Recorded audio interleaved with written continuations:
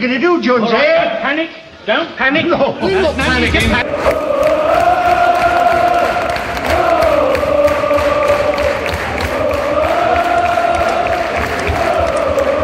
Team teams, our team, Wolverhampton So, what was all the fuss about? A fantastic response from the Wolves. I think because it had been such a long time since the Fulham game and the Reading game being postponed and then going away. Tricky game against Leeds, although they were really poor today. They didn't turn up, and quite frankly, I think there's a lot of holes that Leeds need to fill before they can mount any sort of serious promotion push, push next season. Uh, Wolves, though. A couple of eyebrows possibly raised uh, on the team selection. Danny Batth coming in for Ryan Bennett and Bonatini retaining his place up front.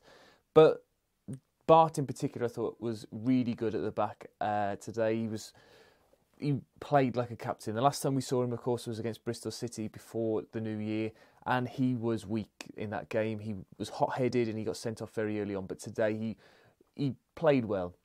He didn't have a lot to do, but what he did have to do, he did it properly. But for me, the outstanding performance today was from Willy Boly.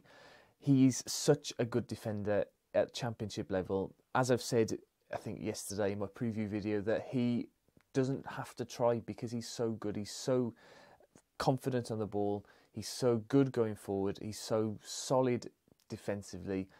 There is no player in the championship like him, and it's fantastic that we've got him.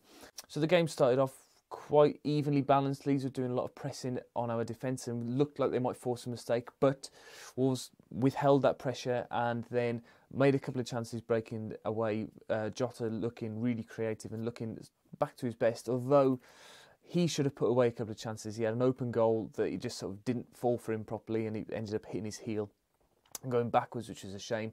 Bonatini as well, getting into a couple of good areas, but the ball not sitting properly for him as well. Uh, but then from a corner, Barry Douglas whipping it in, and Saiss with a finding space uh, from losing his marker in Dallas, and then coolly putting it into the corner with a good header.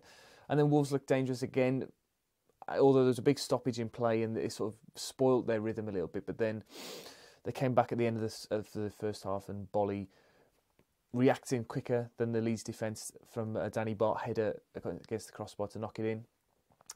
Great finish. 2 0, still a little bit cautious, I think, personally, because of the Norwich game a couple of weeks ago, which we threw away. But they controlled the game really well, I think, the second half. They didn't let Leeds have a sniff. They didn't give away any free kicks or any opportunities for Leeds to come back into the game. They really, really did well.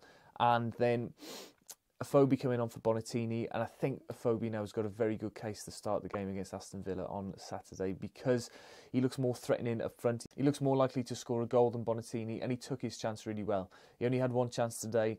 Jota putting the ball through, and then a Afobe definitely chipping it over their goalkeeper, who, in fairness, had had a good game and 3 0 is a bit harsh on him, uh, on the young goalkeeper, but a great finish from a Afobe.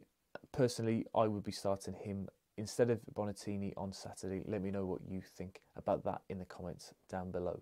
I just want to give a special mention as well to N'Diaye and to Saiss. I know that Sky gave him uh, N'Diaye their man of the match for today. I think he played really well, and you can't argue with the stats. Great uh, tackling and passing and uh, aerial challenges were fantastic.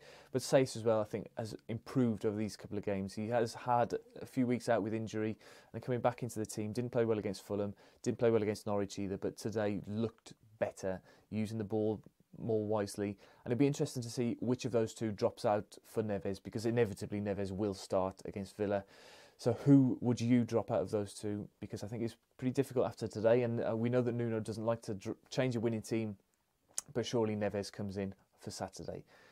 Thank you very much for watching today's video. Don't forget to drop a like and don't panic. It's all fine, even if we do lose against Villa on Saturday, which we won't. See you. Goodbye.